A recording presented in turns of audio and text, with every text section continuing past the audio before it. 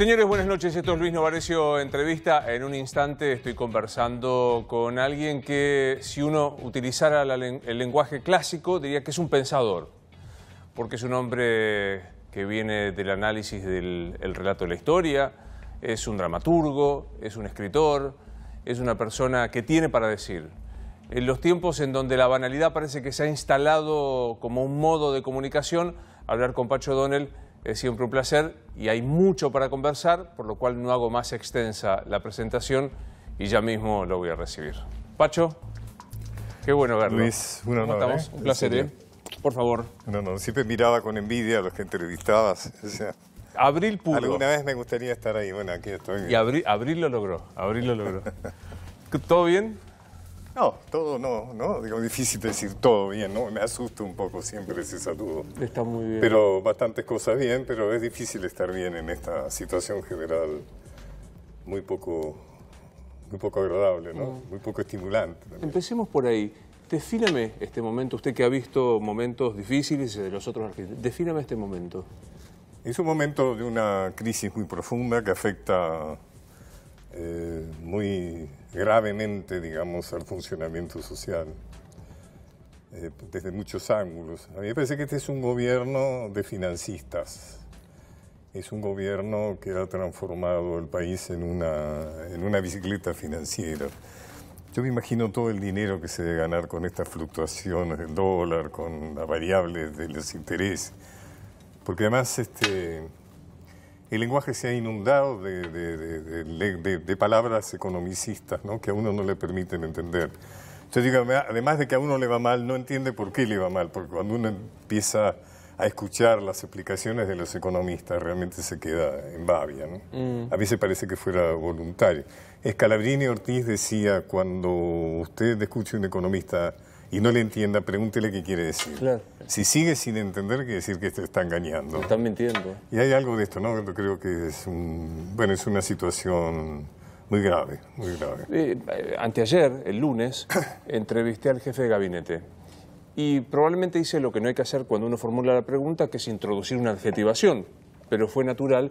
Y yo dije, frente al fracaso económico, ¿por qué persistir con la misma política? Y la corrección de in- inmediata del jefe de gabinete es, no estamos frente a un fracaso económico. ¿Qué, qué- qué le pasa cuando...? Bueno, yo creo que no puede decir otra cosa, pero en el fondo debe tener la plena convicción de que es un fracaso. Yo no dudo de la buena voluntad de Macri y sus colaboradores, pero evidentemente es un gobierno que ha fracasado. Y lo mejor que le puede pasar es que vengan las elecciones y, y que se vaya de su casa, o sea, que venga otra, otra alternativa, ¿no? Pero creo que no, no, no, no, no son tan ciegos porque no en fin, basta ver la- las cifras, digamos, ¿no? Esas cifras que a uno lo, realmente lo aturden y lo acongojan, ¿no? Todas estas cifras que se dan. Pero además, Luis, hay ah, cosas que son muy graves. Así me preocupan, por ejemplo, cuando se habla de la miseria o de la pobreza. A veces se toma como un dato, a veces se toma de pronto con un aspecto de sensibilidad, qué lástima que haya tantos pobres. o- Pero el tema es mucho más grave. ¿Qué va a pasar con el futuro, con un 40% que no come proteínas? O que no come suficientes proteínas. Estoy hablando del 40%, el 30% de adultos, 40% de chicos. Sí. El chico que no come en su infancia proteínas o que come pocas proteínas y además otros, otros alimentos, está condenado a ser un ciudadano, un ciudadano eh, a medias. No va a entender todo lo que hay que entender, no va a poder estudiar lo que le gustaría estudiar. Es un país que va a tener una rémora grave, digamos, ¿no? O sea, yo creo que más allá de toda la terminología que se utiliza y más allá de la cantidad de explicadores y diagnosticadores que pululan, digamos, por los medios, creo que hay que hacer que esos chicos coman. Esos chicos tienen que comer, no solo por ellos, sino por el futuro del país. Tan urgente como eso, tan básico como eso. Es ¿no? tan básico como eso, sí, sí, por supuesto. ¿Y, y cómo explica si es que es verdad, si las encuestas son verdad? Otra, otra, otra invasión de, de terminología que es la de la encuesta, Si a ¿no? uno ya no le cree las encuestas. No es cierto, ¿no? Es una lástima cómo han arruinado una profesión tan digna, ¿no? Porque, eh, digamos, no hay, no hay ningún, o yo no estoy informado, pero no veo ningún encuestadora, encuestador que, que me garantice que lo hace de buena fe. Por decir, bueno, si existiera la, eh, encuestadora X, pero yo sé que lo hace bien, bueno, entonces a X le creo, pero no, no puedo diferenciar. pero además hay cosas, por ejemplo, veo, por ejemplo, que se hacen eh, 2.000 consultas telefónicas. Ahora, ¿quién tiene teléfono en este momento? ¿Quién usa teléfono? Ya hay ahí un tema de, de, base. De, base, o sea, ¿a quién le están preguntando? Porque el teléfono se usa cada vez menos, sin duda. Ahora, supongamos, tomemos como, como hipótesis que hay alguna encuesta que puede parecer razonable. ¿Cómo se explica que Macri tenga la chance de reelegir si es que usted cree que la tiene? Yo creo que indudablemente hay mucha gente que está... Primero hay gente que le va bien con este modelo, ¿no? O sea, que hay que decirle eso, no es que a todos, a algunos les va muy bien.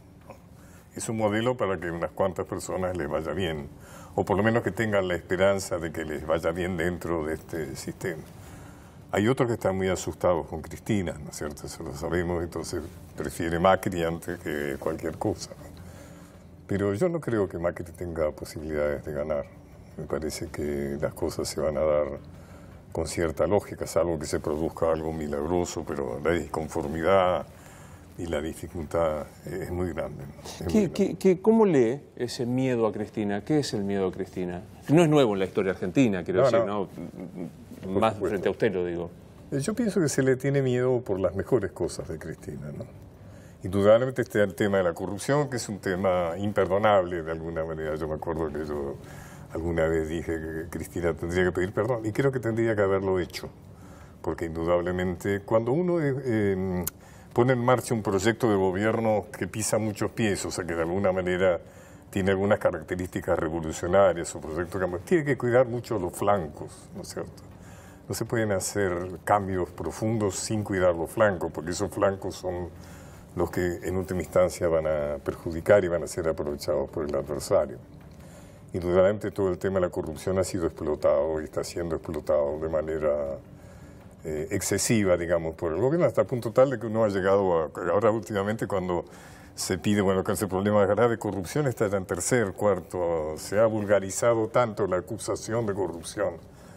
En última instancia ha sido tanto los llamados, digamos, en última instancia la, la justicia no deja de demostrarse bastante impotente, o digamos, por, decirlo de alguna manera, que las acusaciones de corrupción han perdido mucha, mucha, mucha envergadura, mucha intensidad, ¿no? Mm.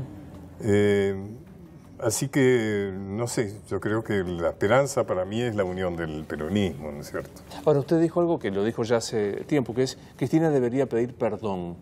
¿Por, qué no se pide perdón? ¿Por qué ningún gobernante, por lo menos, corríjame, de los últimos tiempos pide perdón por los errores, por un fracaso económico, por el hecho de la corrupción? ¿Por qué no paga en la política argentina el, pedido de perdón? Claro, yo creo que hay que diferenciar que si Cristina pide perdón, posiblemente siente que se va a aprovechar para, como si pidiera perdón por otras cosas buenas que se hizo, una política social interesante y demás, ¿no? O sea, no es fácil todo el sistema del poder es un sistema muy enclaustrado, como decías, de...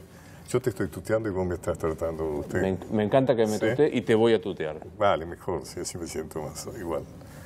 Eh, mismo hablaba recién de Peña y bueno, eh, eh, tienen un sistema de autoexplicación, o sea, el, ser humano es capaz de explicarse muchas cosas, capaz de, de racionalizar. Videla seguro que ha muerto convencido de que lo que había hecho lo hizo bien, de buena fe, que se iba a ganar el cielo con eso, ¿no? O sea, pero creo que hubiera sido un buen gesto, sobre todo para poder de esa manera jerarquizar todas las otras cosas buenas que se hicieron. Por ejemplo, yo como historiador le reconozco a Cristina una tarea, una acción en el campo de la historia muy interesante. O sea, que Cristina es revisionista. Cristina se ha nutrido de la de la resistencia peronista, o sea, de los autores, ¿no es cierto?, de lo que abrevaba la resistencia peronista eh, de los 60, los 50, ¿no? O sea, Scalabrini, Ortiz, Jaureche, eh, Ramos y demás. Y yo creo que eso fue interesante, todo lo que se desplegó en su gobierno en el campo de la historia. ¿Te, produce algún tipo de seducción? ¿Tiene marca cultural el gobierno de Macri? Mirados del punto... a mí me gusta preguntar cada tanto, ¿cuál es la marca cultural de este gobierno? ¿Cuál es la marca cultural del gobierno? La marca cultural de Macri es en realidad la no cultura, la anticultura. O sea, yo creo que el gobierno de Macri está convencido que la cultura le es hostil. Da por sentado que es un sector que adversario. En cierta medida algo de razón tiene, pero también lo fomenta, francamente, porque realmente la acción cultural de este gobierno es de una pobreza muy grande, ¿no? O sea, realmente no han hecho, han desmantelado programas muy interesantes. Pensá que en los últimos dos años han vendido 25 millones de libros menos, no de títulos, sino de libros. Un gobierno no debe permitir eso, no puede permitir eso. La gente, el 30% menos de espectadores en el teatro. O sea, es, es, eh, después no pueden quejarse de que salgan actores de primera línea, actores, actrices muy reconocidas a hablar en contra. ¿Qué, qué, qué es la grieta, Pacho, para vos? O sea, viste que se ha, se ha ensalzado tanto la expresión. ¿Qué es la grieta? Eh, la grieta para mí no me asusta. O sea, la grieta, la grieta básicamente es la lucha de clases. La grieta es entre los intereses de los sectores dominantes y los intereses de los sectores dominados, digamos, de la clase pudiente y de la clase trabajadora, la clase excluida. Esa, esa grieta es planetaria, diríamos, y de alguna manera nuestra historia es la que rige la columna vertebral, digamos, que se manifiesta de distintas formas en distintos momentos. Eh, a mí no me, me, parece que es una grieta muy insultona, muy, pero afortunadamente con muy poca violencia. A mí la grieta me preocuparía si es una grieta con violencia, como hemos tenido en distintos momentos de nuestra historia. ¿no? Mm. Eh, además, como vos bien lo has señalado, eh, y algunos de tus invitados también, es una grieta que ha sido fomentada. O sea, la el principal propagandista de Cristina ha sido Macri, mm. ¿no es cierto? Quien, cuando pierde las elecciones, de alguna manera apareció que, bueno, que ya se terminaba el kirchnerismo. Y sin embargo fue Macri mismo el que lo, le dio vida, le insufló, digamos, lo resucitó. Y yo creo que es un juego peligroso, es un juego peligroso porque eh, hay gente que cree mucho en Cristina, o sea, hay gente además, mucha gente... Cristina tiene que hacer la campaña con un solo tema, es decir, ¿estás mejor ahora o antes? ¿Cuándo podías comer mejor? ¿Cuándo te podías comprar? ¿Cuándo podías viajar? ¿Cuándo podías... ¿Antes o ahora? La situación de ahora comparada con la de antes, cualquiera sean las razones o demás, es verdaderamente absolutamente incomparable. ¿Son antagonistas imprescindibles, Macri y Cristina? Digamos, porque yo creo también, es una hipótesis, que la mayor jefa de campaña de Macri fue Cristina en su oportunidad. Cristina, sí, sí, correcto. ¿Pero son antagónicos imprescindibles? Y son esas eh, parejas, ¿no? Digamos, de alguna manera que se, se, odian, pero que ese odio los, los retroalimenta, ¿no? O mm. sea, yo tengo esperanza que se cuele ese 40% de gente que, que no vota a Macri y que espera, digamos, que de alguna manera Cristina, ah, si es el factor de desunión del peronismo, tenga un gesto que seguramente yo la conozco y sé que lo puede tener de asumir un cierto rol de estadista, diríamos, porque ya ha tenido, ha sido presidenta dos veces, ha sido satisfacciones, digamos, de lo que podríamos llamar de la faz republicana ha tenido. Y yo creo que es muy posible que en algún momento asuma el rol de, de promotora de la unión peronista. ¿no? ¿Te la imaginas renunciando a ser candidata? Mm, yo creo que puede renunciar perfectamente, o sea, no, no creo que... Depende de lo que suceda, ¿no es cierto? O sea, si realmente de pronto el, peronismo no logra este, tener verdaderos síntomas de unión y la única posibilidad, Cristina, bueno, yo creo que va a asumir ese lugar.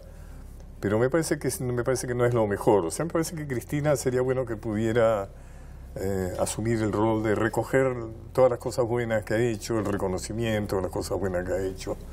Y de alguna manera, casi como hacen muchos presidentes de otros países, no ponerse por encima de la política nacional está como demasiado impregnada, tiene muchas cosas para decir, muchas cosas para proponer. miremos un poco el otro peronismo, el llamado peronismo alternativa federal. ¿Que, te seduce, te, te, resulta alguno de sus líderes? Para mí es la esperanza, para mí es la esperanza, para mí es la esperanza. Yo creo que por ahí puede venir algo nuevo, algo distinto. Si bien los protagonistas no son especialmente eh, novedosos, pero realmente lo distinto, diríamos, ¿no? Algo que no sea ni Macri ni Cristina.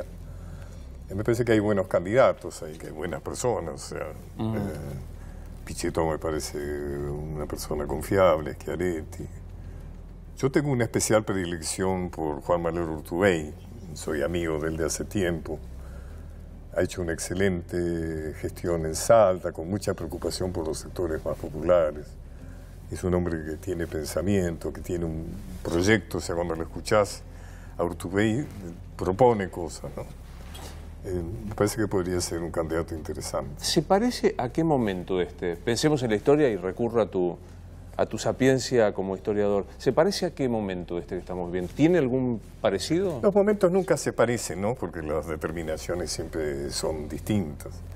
Yo diría que es un momento más de las tantas crisis, digamos, de la Argentina, de los momentos críticos, ¿no? Eh, pero no, no, no podría decir que se parece a ningún... Creo que son esos momentos, eh, o sea, son, van a ser unas elecciones apasionantes, donde se va a jugar, cada uno va a votar este, con el corazón en la boca, digamos, ¿no? Hay algo de, va a ser un momento muy decisivo, o sea, de qué país sale de estas, eh, de estas elecciones. Mm. Eh, viste que siempre se dice la grieta a lo largo de la historia persistió y se caen los lugares comunes, azules y colorados, unitarios y federales, Moreno, Saavedra. ¿Tiene, ¿Tiene justificación usar esas categorías? Yo te digo, la grieta, básicamente el fondo de la grieta está la lucha de clases.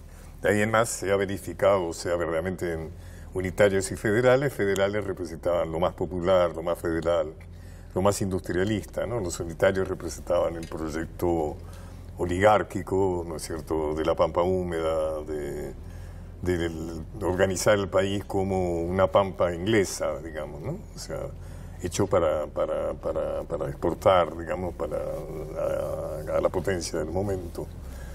Eh, y la lucha entre unitario y federal fue una lucha de clase, claramente, o sea, cuando Sarmiento la significaba como civilización y barbarie, estaba claro que él estaba Además, en el juego Sarmiento por algo un gran escritor, o sea, en una guerra es muy importante cómo manejas las palabras, ¿cierto?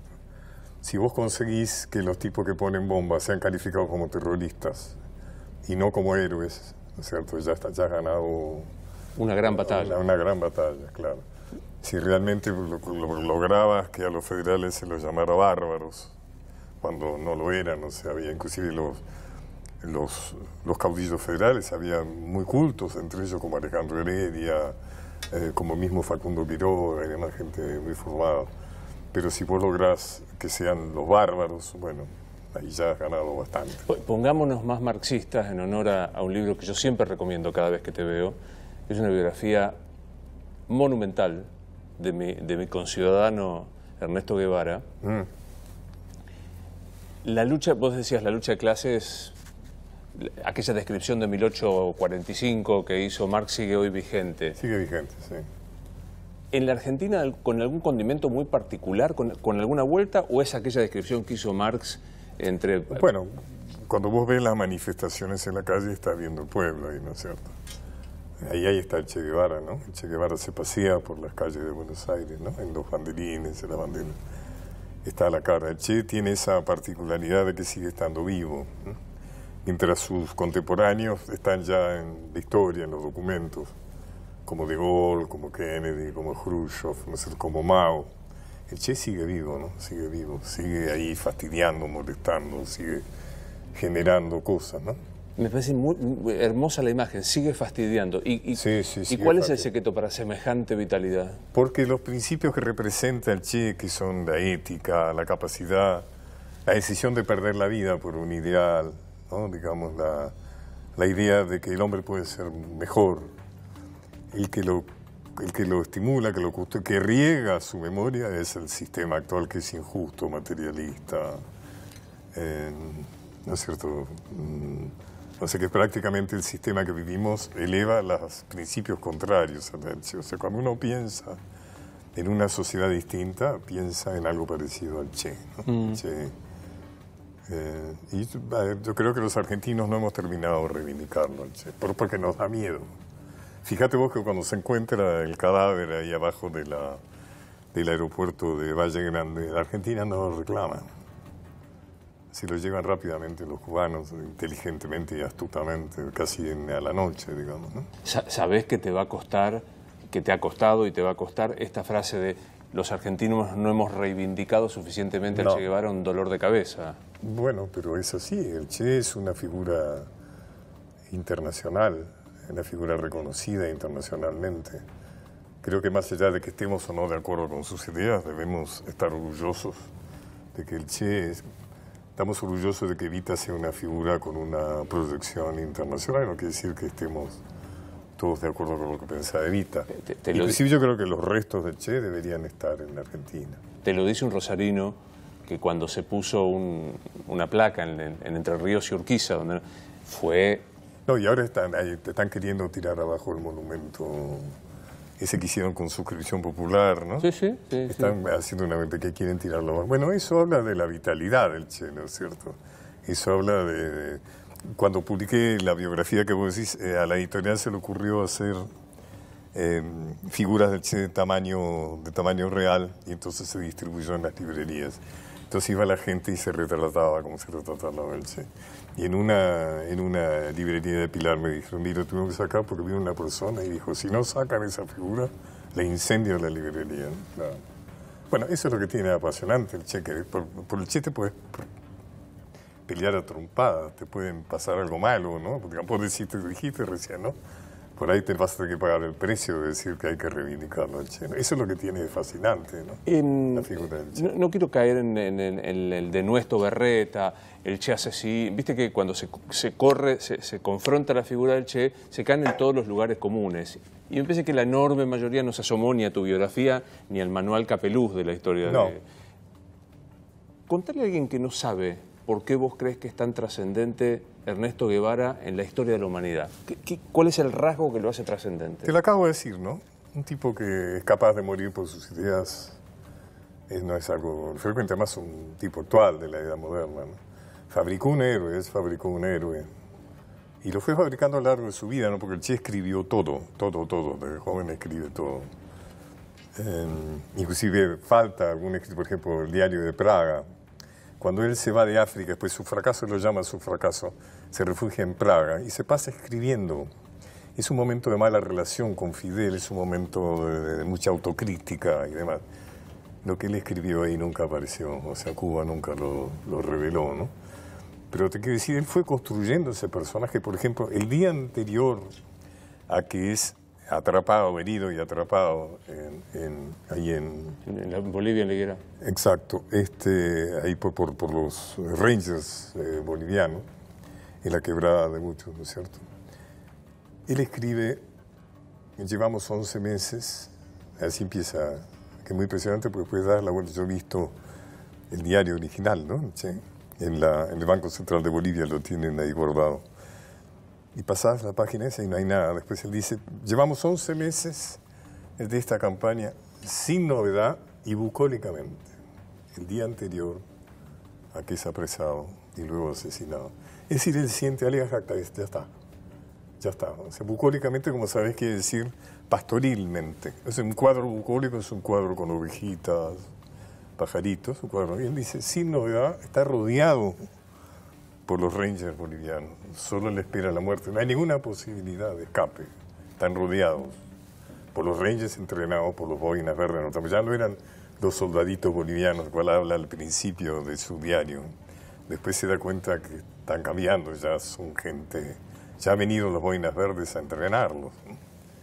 Y él dice, sin novedad y bucólico, dice, bueno, ya está. Ya está. Ya está. Eh, vos dijiste, él construyó el personaje de, del héroe, ¿él era consciente, fue consciente en su vida de, esta trascendencia? Yo creo que sí, yo creo que él apostó a jugarse vida por un motivo superior, diríamos. Él fue asmático inválido algunos, varios años de su... Por el, no podía ir a la escuela por su Y él leía muchísimo ¿no? en esos tiempos. Y él construyó un personaje... Eh, eh, entregado a la causa noble de la humanidad. Él quería ser médico de leprosos. Él tenía su vocación, o sea, el primer, todo el primer viaje, ese que retrata Salles en su buena película Diario Motocicleta, es recorriendo leprosarios. En el segundo viaje, cuando él arranca en su segundo viaje que termina en el Granma, termina en Cuba, él arranca también yendo a trabajar, porque ya se ha recibido de médico y va a trabajar, ya tiene un cargo en un leprosario en Venezuela. Luego en Ecuador ya cambia, se va a, digamos, ya vive la experiencia de Jacobo Arbenz, digamos, y todo eso ya después ya conoce en su exilio en México a, los Castro, etc. Pero él inicialmente dice que su vida va a estar dedicada a los leprosos. Mm, por lo cual él, toma, digamos, pero después toma nota del, Porque siendo médico leproso en aquellos tiempos era prácticamente morirte, morirte contagiado. O sea que él tenía una idea de, morir por causa noble. Viste que Vargas Llosa, en, conversación en la catedral, dice, se pregunta cuándo se jodió el Perú, cuándo fue que se jodió el Perú. ¿Cuándo fue que se jodió la Argentina? Yo no sé si se jodió, a mí me gusta tanto la Argentina, creo que es un... la Argentina es, un campo de ambiciones, eh, digamos, un campo de disputa, es un territorio en disputa. Las potencias, en este momento son los grandes eh, eh, factores financieros del mundo, etc. Yo creo que los argentinos ahí estamos defendiéndonos como podemos de, permanentes acciones, digamos, de conquista secundados por los socios interiores, ¿no es cierto? Los, todos esos que tienen sus socios interiores que además son premiados, ¿no es cierto?, con mucho dinero, con prestigio, ¿no? Con fotos en las revistas de moda, etc. Yo creo que hay momentos muy difíciles de la Argentina. Creo que en la Revolución del 55, creo que la digamos, el triunfo, sí, de Bonaparte, yo creo que el triunfo de Pavón ahí donde se decreta ya finalmente la derrota del federalismo, yo creo que ese es un momento muy serio, que ya se predecía en, en Caseros. Fíjate vos que San Martín le escribe a, de alguna manera le hace conocer a, a, través de Tomás Guido, le escribe a Tomás Guido, su interlocutor, el que está enterrado ahí en el mausoleo con él acompañándolo en la catedral. Y le dice, la, la vuelta obligado, la guerra del Paraná, ha sido la segunda guerra de independencia. Qué lucidez. O sea, él había luchado en la primera guerra de independencia contra los españoles. Quien releva a España como, como imperio dominante, ambicioso, codicioso, queriendo quedarse con todo lo que había renunciado España, era Inglaterra. La vuelta obligado, esa epopeya, bueno, que justamente Cristina fue la que lo reivindicó yo tuve mucho que ver con mi libro sobre la vuelta obligado. Este, bueno, espera que me perdí un poco. No, yo te decía, cuando, se embromó ah, la Argentina... Ya en Caseros, cuando, cuando San Martín le dice, en, en, en Caseros se firma, se firma la segunda dependencia. Caseros significa el paso a la dependencia de Inglaterra.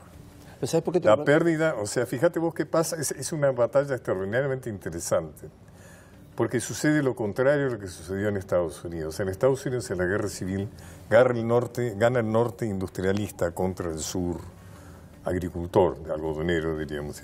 En Caseros pasa al revés. Gana el sector agroexportador y vence y, pierde. el sector federal, eh, provincial, con una vocación por, por, la industrialización. Recordemos que Rosa, por ejemplo, era un industrial de saladeros, o sea, Rosa protegía las industrias provinciales con su famosa ley 1835. ¿Sabes por qué te lo preguntaba? Porque escucho que el diagnóstico en campaña, está bien, del gobierno es el país se embromó hace 70 años. 70 años el peronismo, ¿no? esas fechas nunca son este, banales. Fíjate vos cuando se exalta el centenario. El centenario es como el, modelo de, la, de, la, derecha, los sectores más conservadores, ¿no? Y estaba la época del centenario, ¿viste? Esos rankings, éramos más que Francia, no sé qué, y Exportábamos no, sé, qué, cereal. Y éramos maravilla, el centenario. Bueno, ¿cuándo fue el centenario? Que efectivamente fue mostrar, no una Argentina, sino un Buenos Aires eh, de palacios franceses, de teatros líricos, de grandes avenidas, a la hermana del rey de España, porque no vino nadie más, o sea, no es que se le murió el mundo. Pero el centenario fue en 1910. Y vos sabés cuándo se empezó a votar. En 1902. O sea, cuando dice, oh, esa la Argentina, ahí se perdió, esa Argentina era, te están diciendo, es la Argentina que no votaba. La Argentina votó y se fue todo al carajo. Cuando, Esas fechas nunca, nunca son banales, cuando 70 años, bueno... Cuando los cabecitas empezaron a, aparecer en la historia. Claro, cuando empezaron a definir la política, a través de Irigoyen primero. Mm. En el 16 es cuando se produce la, irrupción del voto popular, ¿no es cierto? Me, gustó tu imagen del Che fastidiando, el Che más vivo que nunca. Sí. Es una torpeza la que voy a decir, así que puedes corregir. Me da la impresión de que Eva está tan, no sé si tan viva como, como el Che, no, no así el eh, Juan Perón, pero digo, eh, Eva está como muy viva. Eva está como muy viva, no es tan internacional como el Che. No, claro. El Che es un personaje hasta inclusive hay que reivindicar su argentinidad, porque hemos, dejado perder la argentinidad del Che por razones políticas, ideológicas. Si vos le preguntás a un polaco de qué nacionalidad el Che, te va a decir cubano. Obvio, yo digo todo el tiempo que es de Rosario y me miran como diciendo, este exagera porque le gusta Rosario. Pero digo, eh, no, ah, por, más que haya nacido casualmente, no me importa nada, nació en Entre Ríos y Urquiza. Pero digo, eh, Eva está, está viva. En, y yo creo que iba, sobre todo en estos momentos de de gran feminismo y demás, creo que es muy importante, siempre la imagen de Eva. Recién hablábamos de la historia argentina. La historia argentina que está escrito por los que ganaron, fíjate vos cómo las cosas se van enganchando, ¿no? Los que ganaron en Pavón se sentaron a, em, inventar el ejército nacional que fue enviado a las provincias como ejército de ocupación para desterrar por las buenas o por las malas todo lo que oliera federalismo. En ese momento la mayoría de los gobernadores eran federales. Este, y bueno, y se, se escribió la historia que necesitaban para eh, fundamentar su ideología, su acción que iban a hacer y demás. La historia oficial es una historia que no tiene en cuenta las mujeres, que no tuvo en cuenta, si los que nos están escuchando, las mujeres que nos escuchan, recuerdan qué es lo que le enseñaron en la escuela a las mujeres que hacían, donaban joyas, eh, cosían. banderas y alguna le donaba, le daba el piano a alguien para que tocara un himno, ¿no es cierto? La primera mujer que atravesó ese cerco fue Eva. Bueno, así la llamaron prostituta, yegua, todo, o sea, realmente fue un hecho muy revolucionario la irrupción de Eva, digamos, en la política argentina. Mm. Pero eh, yo creo que fue una figura extraordinaria, extraordinaria una figura extraordinaria. Digamos, eh, su recorrido personal, su escasa edad, este, digo... Sí, sí, sí, sí. Pero además tuvo eso que tienen los mitos. Morirte joven y lindo. Morirte joven en el pináculo. O sea que no, no conoces lo que es la, decadencia, el deterioro. Te morís acá. Eh, Eche, Cristo, Evita, todos, ¿no es cierto? Eh, García Lorca, James Dean, es una condición fundamental del mito. Y todos estos lo cumplieron exactamente. Eh, ¿Hay mucho, mucho gorila hoy día todavía? Eh, hay formas de, gorilaje, ¿no? O sea, mm. antes de poco se entendía gorila el antiperonismo. Yo creo que dentro del peronismo también hay muchos gorilas. claro. Claro.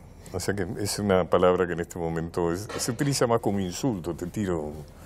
No, no, no acepta una definición sociológica, ¿no? O politológica. Es un buen insulto, sos un gorila, es un buen insulto, pero antes era más claro, gorila era el que se oponía, la grieta era peronismo, antiperonismo. Claro. En este momento no, no, es, tan claro eso. Pero retomo algo que dijiste que, que, que ojalá tengas razón. Vos decías, la grieta no es, tan, no es tan dura como en otros momentos porque no veo violencia. No veo violencia. No, ¿Pero no sentís que estamos como al filo de, la violencia? Sí.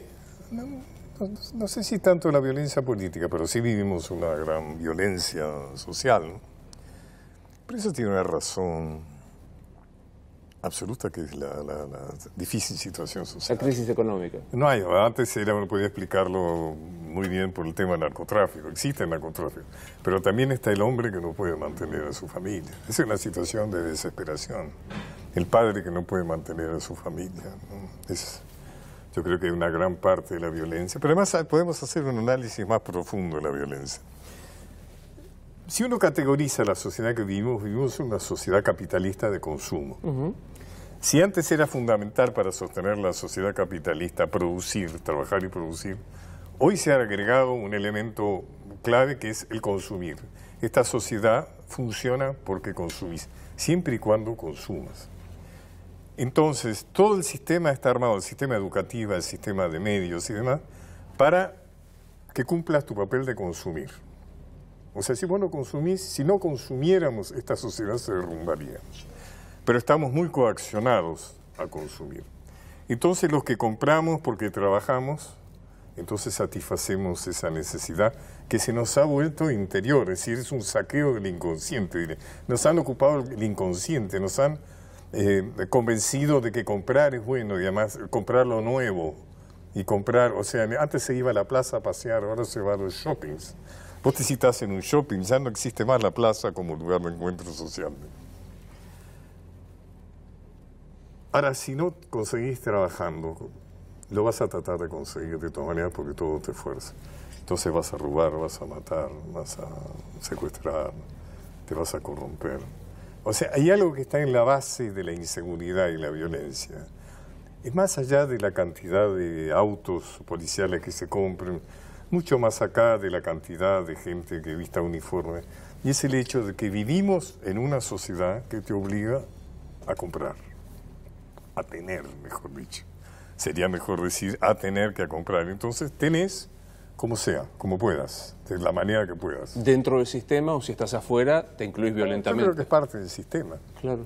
O sea, creo que la violencia es inevitable, es inherente a este sistema. No existiría, no existe una forma buena de este sistema que no tenga violencia. Claro. Igual que la pobreza, no existe un sistema bueno que no. No, este sistema que vivimos incluye la pobreza. O sea, la pobreza es producida por este sistema. Alguno te va a decir, está justificando el robo, está justificando el que te arrebata el celular en la calle. No, no, no estoy justificando, estoy explicando. Eso no quiere decir que, que no tenga que ser penado, que no tenga que ser, pero digamos, eh, no es, no es en todo caso hay una explicación para todo esto. No, quiere decir que lo esté justificando de ninguna La sociología lo ha explicado hace tiempo con las ciudades fragmentadas, ¿no? O sea, cuando, cuando hay esta disparidad, la inclusión se hace a como dé lugar. Por eso yo el otro día, lo cito bastante, leía una nota de, Jorge Fernández Díaz en La Nación que él hablaba de... Excelentes artículos de Jorge. Qué bien que está escribiendo, a pesar de que muchas veces no estoy de acuerdo con él.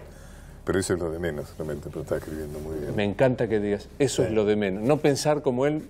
Les recomiendo que lean los artículos de La Nación. Es, un enorme escritor, este, Jorge. Además es un muy buen escritor. Gran escritor. Y él sostiene esta teoría de que en la Argentina, él lo dice como crítica, heladera mata ética. Que la necesidad imperiosa del comer mata todo principio ético. Bueno, recién lo dijimos, no sé si tan elegantemente como él, pero lo dijimos, ¿no? Si vos sos un padre de familia y no puedes mantener a tu familia, no sé, se te plantean algunas alternativas, todas ellas muy duras.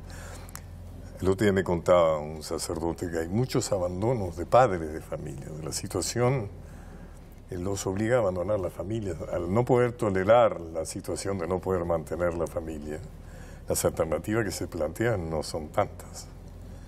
Y una de ellas es abandonar la familia, abandonar tu rol de padre porque no lo puedes ejercer. Abandonarlo de muchas maneras, abandonarlo físicamente, o abandonarlo en el alcohol, o abandonarlo en el que sé yo, pero dejar tu rol de padre porque no lo puedes sostener. Muy dramático. A propósito que mencionas un sacerdote, ¿qué te pasa con la figura de Francisco, del Papa Francisco? Yo lo he conocido antes a Bergoglio, me parece que está mm, muy aplastado por una he estudiado algo de, la institución, de las instituciones, la psicología de las instituciones. Las instituciones tienen una inercia propia muy grande. un funcionario entra, siempre dice, porque yo voy a hacer esto y Yo generalmente cuando me dicen si puedes cumplir el 10% de todo lo que decís, date por sentado, está buenísimo. Nada menos que la Iglesia Católica. ¿Te imaginas lo que es la inercia institucional? del Vaticano, Iglesia es tremenda. Él ha tratado de hacer algunos cambios, creo que no ha pasado de, lo cosmético en cuanto hace... Por ejemplo, el otro día lo miraba, siempre me disculpan las personas, pero vestido con esas vestimentas que ya son ridículas que usan los obispos, los arzobispos, que, que no tienen sentido, digamos, estar así vestido, ¿no? Es, es irritante, porque no provocan respeto, no provocan... Y yo decía, Francisco debe sentirse muy ridículo vistiendo esto. pero no tiene fuerza como para decir, muchachos, vamos a vestirnos un poco más como personas, si queremos llegar a la gente. No podemos andar por la vida así vestidos, o sea, ¿no? Si queremos realmente ser pastores con olor a oveja, tenemos que parecernos un poco a los pastores, ¿no? Este, yo creo que tiene una idea muy antiliberal, o sea, es un dogmático, muy, muy fuerte, digamos, en su convicción del que el liberalismo es una doctrina cuasi demoníaca, digamos, una doctrina anticristiana, diríamos absolutamente. Él está convencido de eso. ¿Es chiquitaje decir el Papa peronista? Así me parece, no sé, no, no molesta. O sea, si el peronismo implica una preocupación por la condición social, si preocupa, o sea, ocuparse más de, de los pobres que de los capos, o sea, me parece que es una buena definición, digamos, ¿no? Por lo menos si lo tomamos solo porque también ha habido un peronismo que no ha cumplido con ese rol. Liberal, un peronismo que, que, abdicó de... Oligarca. Un, peronismo gorila, como, un peronismo gorila, como dijiste hace un ratito. ¿Qué estás, así, qué estás escribiendo? Eh, yo en este momento yo paso por etapas, digamos. Yo digo que veo los juguetes que están en mi placar y entonces tomo un juguete un tiempo y lo dejo, después retomo otro. Quiero jugar antes de morirme quiero jugar con todos los juguetes, ¿no? Y ahora estoy muy metido con el teatro, fíjate que es una gran pasión mía. Bueno, sigo dando clases, historia, estudiando, leyendo. Estoy como muy activo en el campo teatral, o sea, a mí me gusta mucho el teatro y he tenido mucha suerte, muy buenos directores, muy buenos actores. En este momento, por ejemplo, se está representando, vos te va a gustar, este, en el, en el Centro Cultural de Cooperación, que es una institución muy, muy interesante ahí justo frente al Teatro San Martín. Una obra mía que se llama eh, A la izquierda del roble, que es el título de un poema de Mario Benedetti. Y es una obra dedicada a Mario Benedetti. O sea, yo lo aprecio, lo conocí, lo, quise mucho, lo quisimos. Y a Mario Benedetti es un hombre que le cantó al amor como pocos y que además tuvo una actitud de mucho compromiso frente a las dictaduras de su tiempo y demás. Y entonces ahí estoy haciendo un espectáculo que está muy bien con Sergio Vainikov, de músico, está María Fiorentino, está... Rosarina. ¿eh? Rosarina. Rosarina, claro. Marcelo Balcesto. Y además yo estoy en el escenario ya para completar mi, mi caradurismo. Y es una experiencia dirigida por Daniel Markov, es una experiencia... Se empezó a ensayar ahora una obra mía que se llama este, Quinto Round, que es una obra que transcurre eh, en el mundo del box. Es un gimnasio, ¿no? Con un protagonista, un boxeador que va a ser un excelente actor, que se llama Ramiro Martínez. Y mm, para Timbre 4, que es un lugar... De Tolcachir, claro. Es un lugar muy, lindo para hacer teatro. ¿Y, cómo te sentís siendo un sex symbol ahora? Es gracioso eso. Pues te cuento cómo pasó eso, porque pasó de, de, viejo idiota que soy, de viejo inexperto, digamos. Resulta que hacía dos semanas, no faltaba mucho más, una hija, yo le hablé del Instagram, porque me, abriste un Instagram, entonces, le pedí, entonces me abrió un Instagram. Entonces yo incorporé a mis amigos, mi familia, tendría 60, ¿no? Y yo hago fierros, efectivamente, desde, muy intensamente desde hace cinco años. No por salud, sino por enfermedad. Yo tuve años antes una insuficiencia cardíaca y entonces en principio el médico me dijo, mira, hace algunos un poco de gimnasia para fortalecer la parte sana de tu corazón. Y entonces me fui embalando, ¿no? Con, con, un tema, me fui gustando, fui notando los cambios. Bueno, la cuestión es que entonces un día le digo, terminé de, entrenar, le digo a mi mujer, me sacas una foto. Me sacó una foto de espaldas y la vi porque no tenía ninguna propuesta de, de musculación, sino de sentirme bien. Pero vi espalda que estaba bastante bien a mí mismo, me sorprendió. Entonces la subí a, Instagram. Y ahí el, primero que lo tomó fue Jorge Rial, que le agradezco porque lo hizo con mucho respeto y con muy, muy buena onda, porque es una cosa que también podría haber sido tomada para el churrete, digamos, de alguna manera. Y bueno, y ahí pasaron cosas muy interesantes. Empezaron porque de alguna manera me asumí como un rol del viejo que pelea contra el deterioro. Y es así, o sea, yo tengo una especie de de, axioma que dice no se puede luchar contra la muerte, pero sí se puede luchar contra el deterioro. Y en esta sociedad, volviendo al tema de la sociedad de consumo, donde el que no compra no sirve y el viejo no compra, compra demasiado poquito, o sea que es un desecho.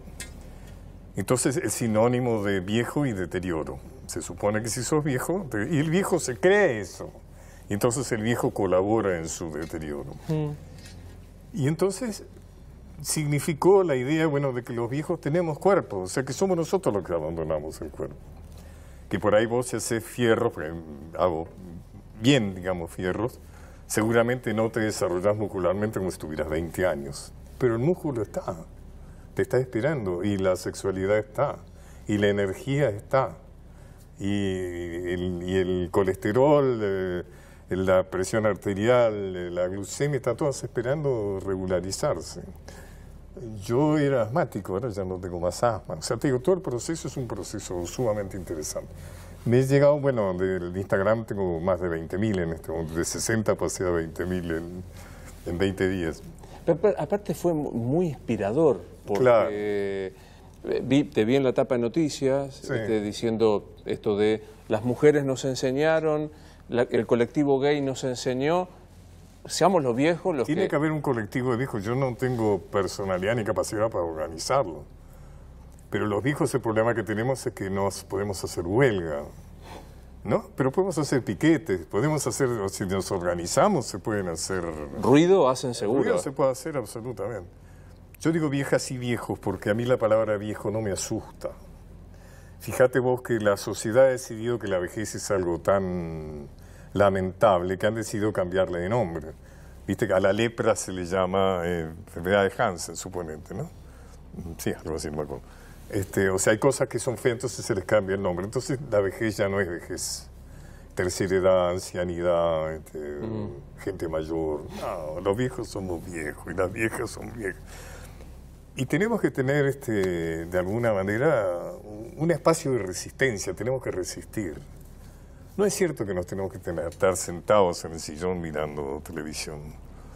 Yo aconsejo realmente que uno se conecte con el cuerpo, los, los resultados. Digo, vos entrenás todos los días. Sí, sí, todos ¿Y qué haces? ¿Poner una rutina tuya qué es? Yo algo que puedo aconsejar, soy muy malo, como porque no, no soy un profesor de fitness, pero mi experiencia es trabajar con mucha intensidad. Siempre he aconsejado por un profesor y siempre con control médico, pero con mucha intensidad. A mí la gente me dice, yo salgo a caminar, nada, eso no es. Eso es quedar bien con la idea de que uno tendría que hacer algo, entonces salgo, de vez en cuando me acuerdo y salgo a caminar.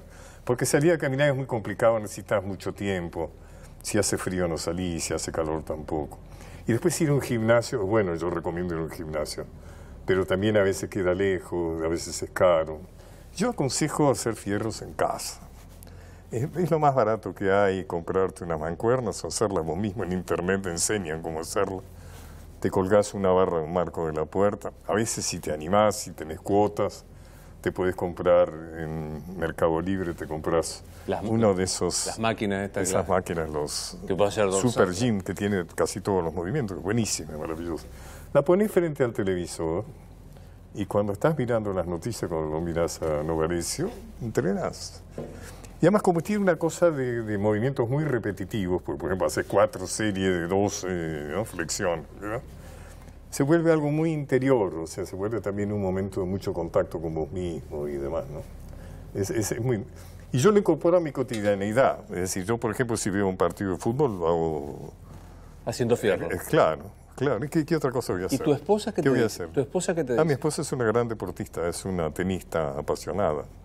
Sí, sí, es ella la que durante muchos años me reclamó, porque yo era gordo y bueno, sigue siendo, la panza es muy indómita, digamos.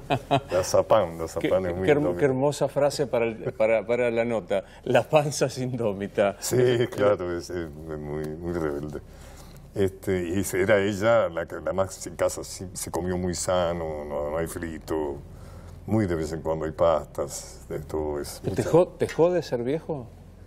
Uh, sí, pero lo tengo asumido hace mucho tiempo. O sea, fíjate, Luis, que el recuerdo más antiguo que yo tengo es haberte hace ya cuatro años, viste, cuando psicoanalizas te pones a, recordar, digamos. Este, tenía más o menos cuatro años, estaba hecho un ovillo abajo de una silla y lloraba. Y lloraba porque nos íbamos a morir. Tomé conciencia de que todo lo que me rodeaba se iba a morir, no sé por qué. Y una empleada que trabajaba en casa me dice, ¿qué le pasa? no me tuteaba. Digo, me duele la panza porque me pareció demasiado complicado explicarlo. Pero siempre tuve conciencia de la muerte, o sea, siempre estoy preparado para la muerte. Estoy preparado para la muerte. Yo pregunto siempre, ¿y nos morimos y qué pasa? y nada. Y nada. Por eso es que uno tiene que sacarle todo el jugo posible a esta vida.